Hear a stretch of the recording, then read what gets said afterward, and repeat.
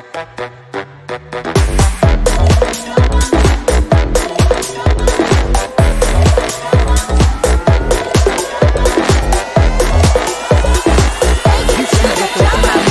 video. The question is asked by Sangeeta Mishra. Her question is How to draw perpendicular bisectors of an obtuse angled triangle?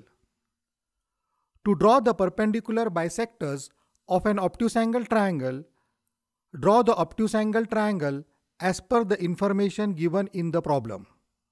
So, let triangle XYZ on the screen be the obtuse angle triangle, in which angle Y is the obtuse angle. Now, let us draw the perpendicular bisectors to the three sides of the obtuse angle triangle. Let us first draw the perpendicular bisector of side YZ. So, from vertex Y, make arcs on both the sides of YZ as shown on the screen. Similarly, from vertex Z, cut the arcs made from the vertex Y as shown on the screen. Name the intersection of the arcs as P and Q respectively.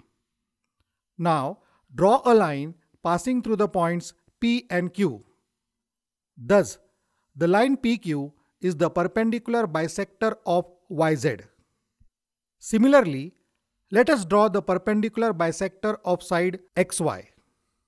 From vertex X, make arcs on both the side of XY as shown on the screen. Now, from the vertex Y, cut the arcs made from the vertex X as shown on the screen. Name the intersection of the arcs as S and T respectively. Now draw a line passing through the points S and T. Thus, the line ST is the perpendicular bisector of side XY. And now let us draw the perpendicular bisector of side XZ. So, from vertex X, make arcs on both the sides of XZ as shown on the screen. Similarly, from vertex Z, cut the arcs made from the vertex X as shown on the screen. Name the intersection of the arcs as M and N respectively. Now draw a line passing through the points M and N. Thus, the line MN is the perpendicular bisector of XZ. Thus, PQ, ST, and MN are the perpendicular bisector of the sides of triangle XYZ. These perpendicular bisectors meet at a point outside the triangle.